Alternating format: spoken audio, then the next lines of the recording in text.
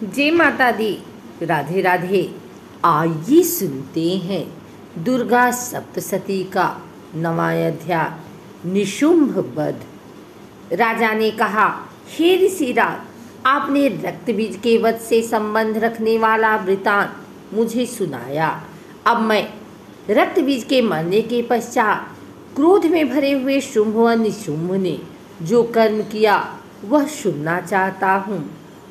महर्षि मेधा ने कहा रक्त बीज के मारे जाने पर शुंभ और निशुंभ को बड़ा क्रोध आया और अपनी बहुत बड़ी सेना का इस प्रकार सर्वनाश होते देखकर निशुंभ देवी पर आक्रमण करने के लिए दौड़ा। इसके पश्चात बहुत से बड़े बड़े असुर देवी को मारने के वास्ते दौड़े और महापराक्रमी शुंभ अपनी सेना सहित चंडिका को मारने के लिए बढ़ा। फिर शुंभ और निशुंभ का देवी से घोर युद्ध होने लगा और वह दोनों असुर इस प्रकार देवी पर बाढ़ फेंकने लगे, जैसे मेघों से वर्षा हो रही हो। उन दोनों के चलाए हुए बाड़ों को देवी ने अपने बाड़ों से काट डाला और अपने शस्त्रों की वर्षा से उन दोनों दैत्यों को चोट पहुंचाई। निशुम ने तिछल तलवार और चमकती हुई ढाल लेकर देवी के सिंह पर आक्रमण किया। अपने वाहन को चोट पहुँची देखकर देवी ने अपने छुरप्र नामक बाढ़ से निशुम की तलवार व ढाल दोनों को ही काट डाला। तलवार और ढाल कट जाने पर निशुम ने देवी पर शक्ति से प्रहार किया। देवी ने अपने चक्र से उसके दो टुकड़े कर दिए। फिर क्या था? दैत्य मारी क्रोध के जल भुन गया और उसने देवी को मारने के लिए उनकी ओर सूल फेंका। किंतु देवी ने अपने मुक्के से उसको चूर चूर कर डाला। फिर उसने देवी पर गदा से प्रहार किया। देवी ने त्रिशूल से गदा को भस्म कर डाला। इसके पश्चात वह फरसा हाथ में लेकर देवी की ओर लपका। देवी ने अपने तीखी बाड़ों से उसे धरती पर सुला दिया। अपने पराक्रमी भाई निशुम के इस प्रकार मरने पर शुभ क्रोध में भरकर देवी को मारने के लिए दौड़ा। वह रथ में बैठा हुआ था कि उत्तम आयुधों से सुशोभित अपनी आठ बड़ी बड़ी भुजाओं से सारे आकाश को ढके हुए था। शुभ को आते देखकर देवी ने अपना शंख बजाया और धनुष की टंकार का भी अत्यंत दुस्सह शब्द किया। साथ ही अपने घंटे के शब्द से, जो कि संपूर्ण दैत्य सेना के तेज को नष्ट करने वाला था, संपूर्ण दिशाओं में व्याप्त कर दिया। इसके पश्चात देवी के सिंह ने भी अपनी दहाड़ से जिसे सुन बड़े बड़े बलवानों मद चूर चूर हो जाता था, आकाश, पृथ्वी और दसों दिशाओं को पूरित कर दिया। फिर आकाश में उछलकर काली ने अपने दांतों तथा हाथों को पृथ्वी पर पटका। उसके ऐसा करने से ऐसा शब्द हुआ जिससे कि उससे पहले के सारे शब्द शांत हो गए। इसके पश्चात शिवदूती ने असुरों के लिए भय उत्पन्न करने वाला अट्ठास किया, जिसे सुनकर दैत्य थर्रा उठे और शुंभ को बड़ा क्रोध हुआ। फिर अंबिका ने उसे, अरे दुष्ट, खड़ा रह खड़ा रह, कहा तो आकाश से सभी देवता, जय हो जय हो, बोल उठे। सुम ने वहाँ आकर ज्वालाओं से युक्त एक अत्यंत भयंकर शक्ति छोड़ी, जिसे आते देखकर देवी ने अपनी महोल्फा नामक शक्ति से काट डाला। हे राजन, फिर सुम्भ के सिंहनाद से तीनों लोग व्याप्त हो गए और उसकी प्रतिध्वनि से ऐसा घोर शब्द हुआ, जिसने इससे पहले के सब शब्दों को जीत लिया। सुम्भ के छोड़े बाड़ों को देवी ने और देवी के छोड़े बाड़ों को सुम्भ ने अपने बाड़ों से काट सैकड़ों और हज़ारों टुकड़ों में परिवर्तित कर दिया। इसके पश्चात जब चंडिका ने क्रोध में भर शुंभ को त्रिशूल से मारा तो वह मूर्छित होकर पृथ्वी पर गिर पड़ा। जब उसकी मूर्छा दूर हुई तो वह धनुष लेकर आया और अपने बाड़ों से उसने देवी काली तथा सिंह को घायल कर दिया। फिर उस राक्षस ने दस हज़ार भुजाएँ धारण करके चक्रादि आयुधों से देवी को आच्छादित कर दिया। तब भगवती दुर्गा ने कुपित होकर अपने बाड़ों से उन चक्रों तथा बाड़ों को काट डाला। यह देखकर निशुम हाथ में गदा लेकर चंडिका को मारने के लिए दौड़ा। उसके आते ही देवी ने तिछधार वाले खड़ग से उसकी गदा को काट डाला।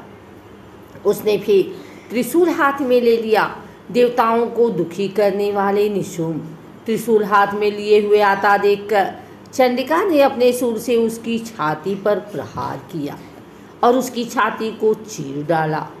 शूल विदीर्ण हो जाने पर उसकी छाती में से एक उस जैसा ही महापराक्रमी दैत्य ठहर जा ठहर जा कहता हुआ निकला। उसको देखकर देवी ने बड़े ज़ोर से ठहाका लगाया। अभी वह निकलने भी न पाया था कि उसका सिर अपनी तलवार से काट डाला।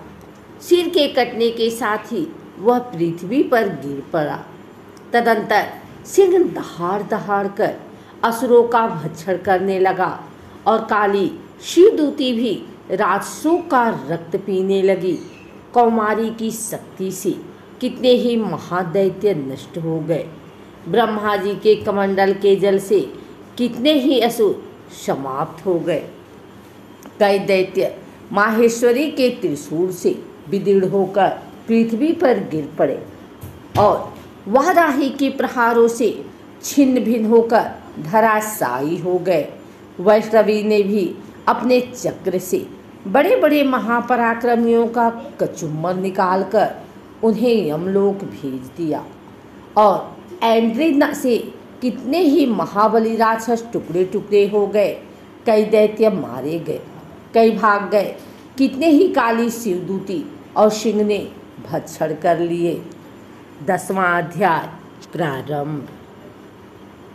महर्षि मेधा ने कहा, हे राजन, आपने प्यारे भाई को मरा हुआ तथा सेना को नष्ट हुई देखकर क्रोध में भरकर दैत्यराज सुम कहने लगा, दुष्ट दुर्गे तू अहंकार से गर्व मत कर, क्योंकि तू दूसरों के बल पर लड़ रही है।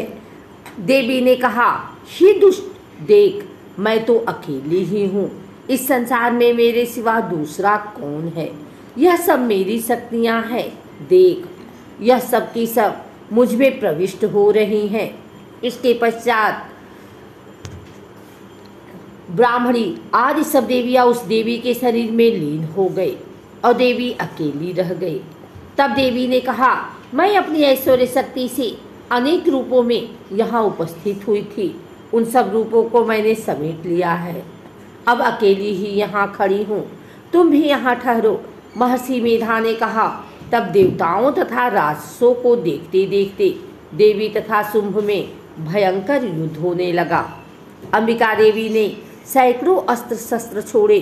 उधर दैत्यराज ने भी भयंकर अस्त्रों का प्रहार आरंभ कर दिया। देवी के छोड़े हुए सैकड़ों अस्त्रों को दैत्य ने अपने अस्त्रों द्वारा काट डाला। इसी प्रकार सुम ने जो अस्त्र छोड़े, उनको देवी ने अपनी भयंकर हुंकार के द्वारा ही काट डाला। दैत्य ने जब सैकड़ों बार छोड़कर देवी को ढक दिया तो क्रोध में भरकर देवी ने अपने बाड़ों से उसका धनुष नष्ट कर डाला। धनुष कट जाने पर दैतेंद्र ने शक्ति चलाई, लेकिन देवी ने उसे भी काट कर फेंक दिया।